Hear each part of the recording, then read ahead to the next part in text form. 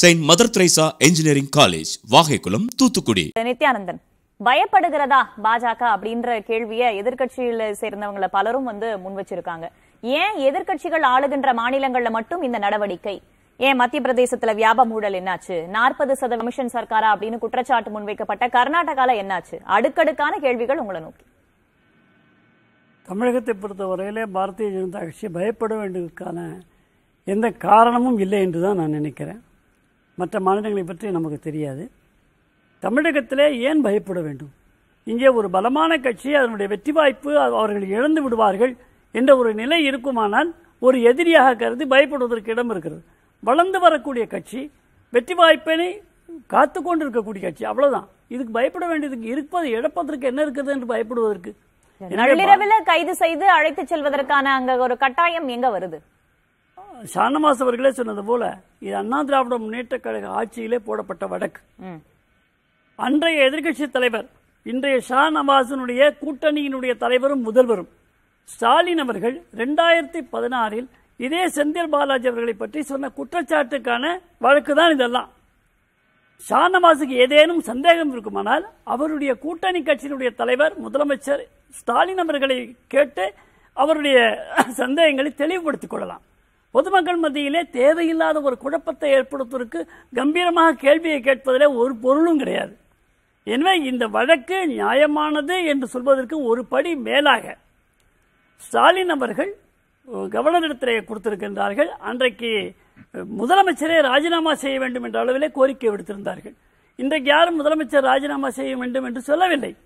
அமலாக்கத்துறை இன்றைக்கு உடனடியாக செந்தில் பாலாஜி மீது ஏன் பாய வேண்டும் என்று கேட்கிறார் இப்- இப்போ வரைக்கும் ஏன் அமலாக்கத்துறை வெளிப்படையாக இதன் காரணமாக தான் கைது செய்யுங்க ஏன்னா நம்ம ரோட்ல போற யாரையோ கைது செய்யல இல்லையா? ஒரு அமைச்சர் ஒரு சட்டமன்ற உறுப்பினர் ஒரு பதவியில இருக்கிறவர் அவ்வளவு பொறுப்புல இருக்கிறவர் நம்ம கைது பண்றோம் அப்படின்னா அதற்கான விளக்கத்தை கொடுக்க வேண்டியது அவர்களுடைய கடமை இல்லையா? அதற்கான அவகாசங்களை அவர்கள் எடுத்துக்கொள்வார்கள் அப்ப அவகாசம் இருக்கும்போது எதற்கான கைது நடவடிக்கை மட்டும் உடனடியாக கைது அமலாக்கத்துறையினுடைய பிடியில அமலாக்கத்துறையினுடைய ஆ, கட்டுப்பாட்டிலே இருக்காங்கன்னு கூட வச்சு கைது என்று இதுவரை அபிஷியலா சொல்லல. சரி அதுதான் நானும் சொல்றேன். அமலாக்கத்துறையினுடைய கட்டுப்பாட்டில் இருக்கிறார்கள் என்றால் நள்ளிரவில் அவரை நெஞ்சுவலி அப்படின்னு முதலமைச்சரும் அறிக்கையில் அதுதான் சொல்லியிருக்காரு. கண்டனமும் தெரிவிச்சிருக்காரு.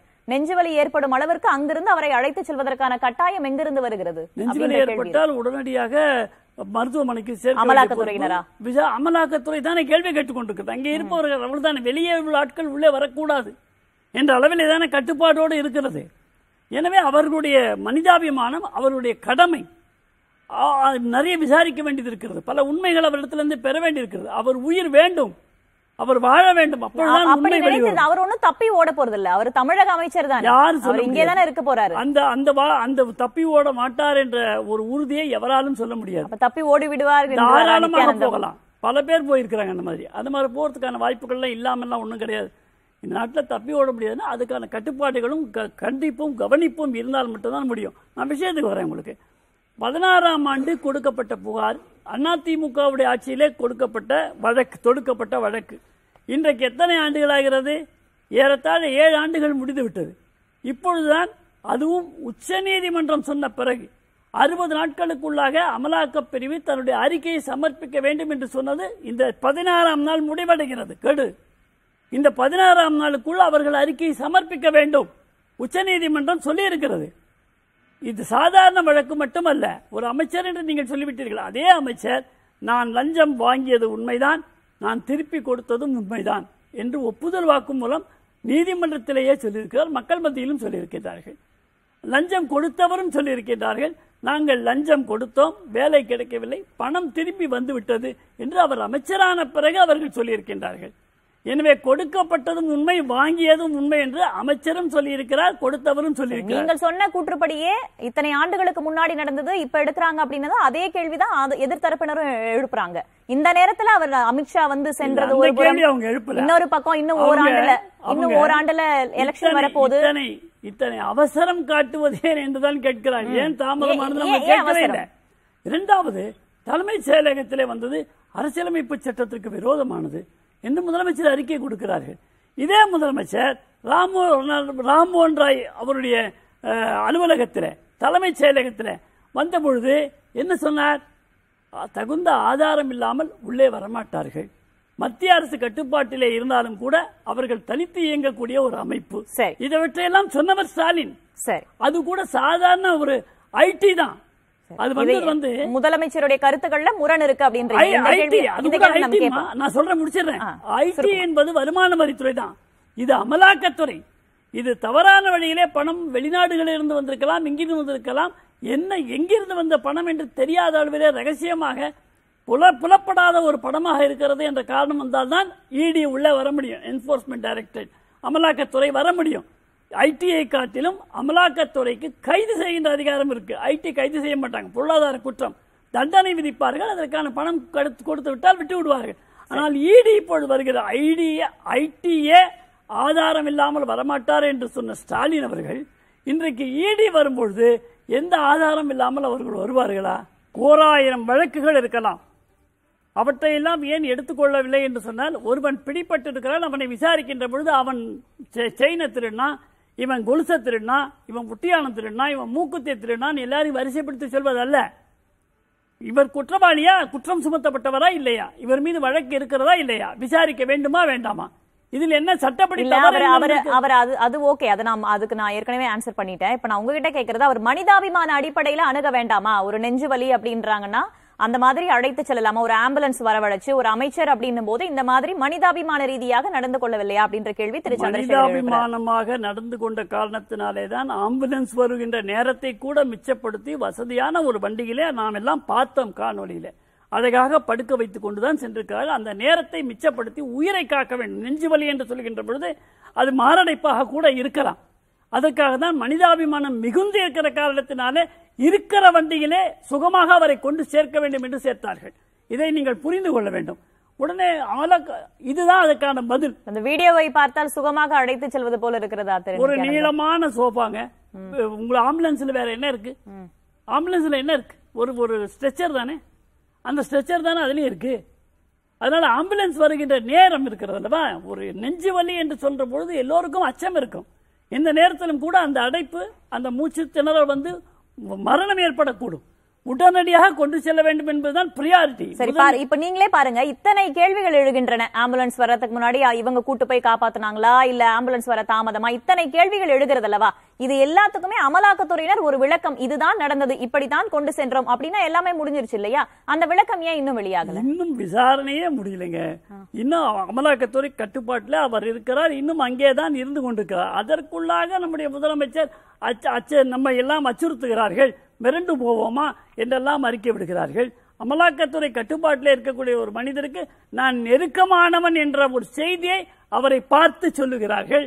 இது ஜனநாயகத்தில் ஏற்க வேண்டியதா? சட்டப்படி ஏற்க முடியுமா? எதற்காக இப்பொழுது சென்று அவசரமாக பார்க்க வேண்டும்? நான் இவனுக்கு மிகவும் நெருக்கமானவன் என்ற ஒரு செய்தியை சொல்வதற்காகத்தானே? எதற்காக இந்த உத்தியை எல்லாம் கடைபிடிக்கின்றார்கள்? எனவே எதை கண்டும் அஞ்சாதவர்கள் இப்படியெல்லாம் செய்வதற்கு காரணம் என்ன? அச்சப்படுகிறார்கள். தங்களுடைய ஆட்சிக்கு களங்கம் வந்து விடுமோ? யாருக்காக இதையெல்லாம் செய்தார் என்று அப்புறவராக அவர் மாறிவிட்டால் வைங்க. என்ன நடக்குங்கிற அச்சம். முதலமைச்சர்லேருந்து அத்தனை பேருக்கு இருக்கிறதுனால தான் அத்தனை அமைச்சரும் ஓடி வந்திருக்காங்க. வேற எந்த ஒரு ஒரு அமைச்சரையோ வேற எந்த இந்த மாதிரியான நடவடிக்கைக்கோ இல்ல ஒரு. தார்மீக அடிப்படையில பார்க்க முடியாதா? இப்போ திமுக ஒரு அமைச்சர் அவர் மருத்துவமனையில அனுமதிக்கப்பட்டிருக்காரு. உடல் நலன் சரியில்லாம அனுமதிக்கப்பட்டிருக்காரு அப்படின்னும் போது பிற அமைச்சர்களோ முதலமைச்சரோ நேரடியாக சென்று பார்ப்பது தார்மீக அடிப்படையில் புரிந்து கொள்ள முடியாதா? இதுக்கு பின்னணியில இருக்கக்கூடிய பல விஷயங்களை நாம் சிந்திக்க வேண்டும். ஒரு மருத்துவமனையிலே அதுவும் ஐசியு அங்கே அட்மிட்டா இருக்கக்கூடியவர்களை பார்க்கணும்னா ரொம்ப ரெஸ்ட்ரிக்ஷன் இருக்கும். எல்லாரும் போய் பார்த்துக்கிட்டே இருக்கக்கூடாது. தொல்லை கொடுக்கக்கூடாது இது அடிப்படை. எல்லாருக்கும் தெரிஞ்ச விஷயம். அப்படி இருக்கும்போது அவர் அமைச்சராக இருந்தாலும் ராஜாவாக இருந்தாலும் எதுவாக இருந்தாலும் கூட நாம் தொல்லை கொடுக்கக்கூடாது என்ற ஒரு குறைந்தபட்ச அறிவு நமக்கு இருக்க வேண்டும். ஜென்ரல் நாலேஜ் இருக்கணும். அதனால பார்க்கக்கூடாது என்பதுதான் சாதாரண மனிதனை கூட ஐசியூவில் இருக்கும்போது பார்க்கக்கூடாது அது இல்லாமல் இப்போ புதுசாக ஒன்று இன்னொரு நீங்கள் சொன்னீங்க ஆட்கொணர்வு வழக்கு. இவர் எங்கே இருக்கிறார் என்று உலகம் பூரா தொலைக்காட்சியில் பார்த்து கொண்டிருக்கிறது. ஆள் காணாமல் போனால்தான் அவரை கொண்டு வர வேண்டும் என்று வழக்கு அவர். குடும்பத்திற்கு தகவல் தெரிவிக்காமல் முறைகேடாக அழைத்து சென்றிருக்கிறார்கள். அதனால ஆட்கொணரும் அவருடைய மனைவி வந்து தாக்கல் செஞ்சிருக்காங்க. தகவல் தெரிவிக்கவில்லை என்று சொன்னாலும் கூட தொலைக்காட்சியிலே உலகமே பார்க்கிறது. தகவல் தெரியும் என்பதுதானே உண்மை. உலகமே பார்த்து கொண்டிருக்கிறது. ஷானவாஸ் கூட சொன்னாரு வாட்சுக்கு ரசீது கொடுத்தாரா? வாட்ச் ஊழல் இல்லையா? ஏன் அண்ணாமலை ஏதாவது கவுன்சிலரா எம்எல்ஏவா? மந்திரியா?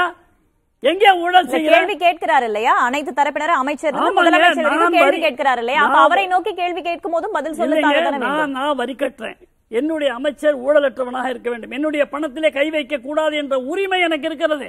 அண்ணாமலை தனக்கு வரக்கூடிய வருமானத்திலே எப்படி வேண்டுமானாலும் வாட்சி வாங்கலாம் வீடு வாங்கலாம்.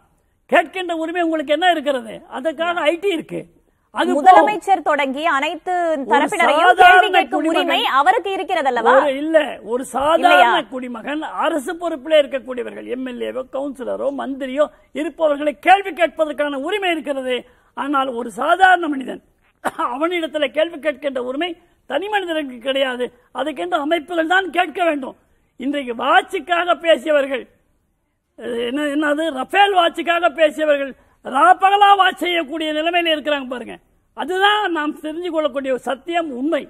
இதை புரிந்து கொண்டால் போறோம். இல்ல சட்டமன்ற உறுப்பினர்கள் தொடங்கி திமுக நிர்வாகிகள் தொடங்கி முதலமைச்சர் வரைக்கும் ஒருவர் கை நீட்டி கேள்வி கேட்கிறார் அதற்கு அவர்கள் பதில் சொல்ல வேண்டும் என்று நினைக்கிறார்னா அவரை நோக்கி கேட்கும் கேள்விகளுக்கும் அவர் பதில் சொல்லிதான் ஆக வேண்டும் அப்படின்ற ஒரு கருத்தும் இருக்கு. நான் தொடர்ந்து வரி. கொடுப்பவன் என்னுடைய வரியிலே சம்பாதிக்கக்கூடியவன் மாத சம்பளம் வாங்கக்கூடியவன் எனக்கு பதில் சொல்ல வேண்டும். Saint mother Teresa engineering college Vagaikulam Thoothukudi.